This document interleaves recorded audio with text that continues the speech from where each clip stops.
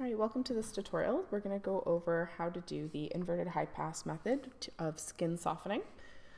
So if you followed along with my last tutorial, you should have a background, a retouch layer, and then a wow layer or a non-destructive dodge and burn. If you didn't follow along with the uh, tutorial, the last tutorial, don't worry about that. We're going to zero it out and make it so that we're starting from the same point anyway. So if you did watch my last tutorial, what you're going to have to do is go up to layer and flatten your image. That's going to condense everything so that it is just one layer again. The next step is to hit Command J and duplicate that layer. Then we're going to change that duplicate layer to a blend mode of linear light. So we're changing the blend mode from normal to linear light. From here, we're going to invert that layer. So you can invert by hitting Command I on a Mac. And then it's going to give you some demonic looking individual. Next step is to go up to Filter, go to Other, and go to High Pass. We're going to change this so that the radius is set to 24.0 pixels and click OK. Then we're going to go up to Filter, go to Blur, and then Gaussian Blur, and we'll set that radius to 3.0 pixels and hit OK. Next, you're going to go over to where that layer exists and you're going to double click on the thumbnail. So double clicking on that little gray box. It's going to open the layer style dialog box. We're going to go down to the bottom half of the box where it says blend if gray. Now, if you remember from previous tutorials, in order to split these little toggles, you hold the option key and click. Bring this layer in about three to five picks or three to five points and do that for both the black and the white ends. So I brought it in four points on the black. You can see that by the zero slash four. And I brought it in four points on the white end where it's 251 slash 255. And click OK. The next step is going down and adding a um, vector mask or a layer mask to that layer. So it's the little rectangle with the black circle in the middle.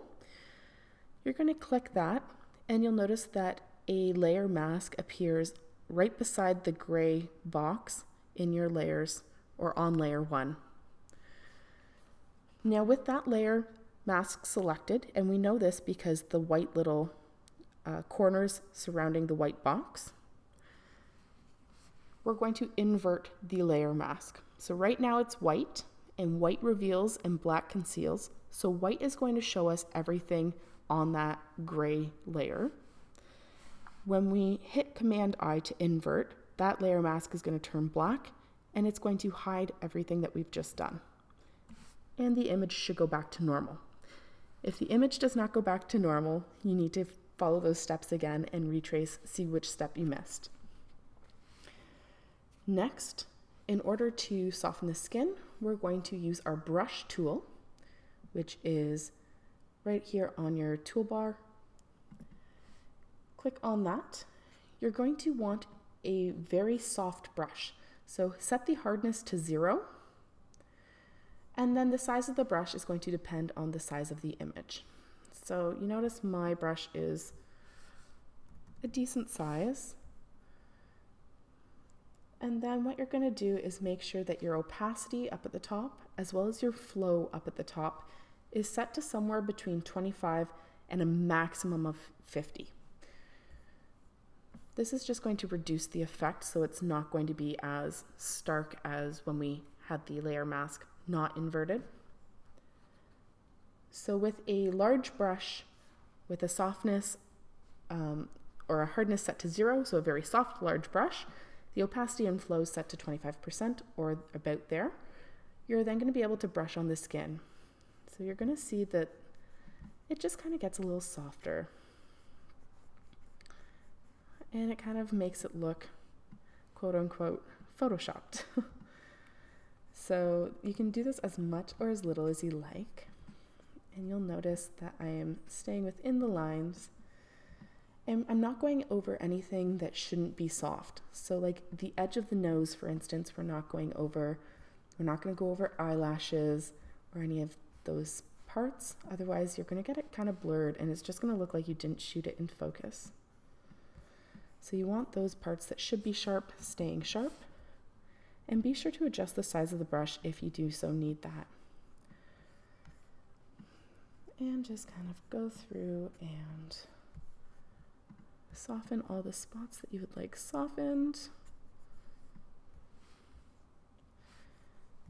And I'm going to do a little bit more over here. Perfect. So now we have softened the skin. And if you want to see what it looked like before, you can remember that the little eye indicates the layer is visible currently. Click on that and it will turn off the layer and make it not visible.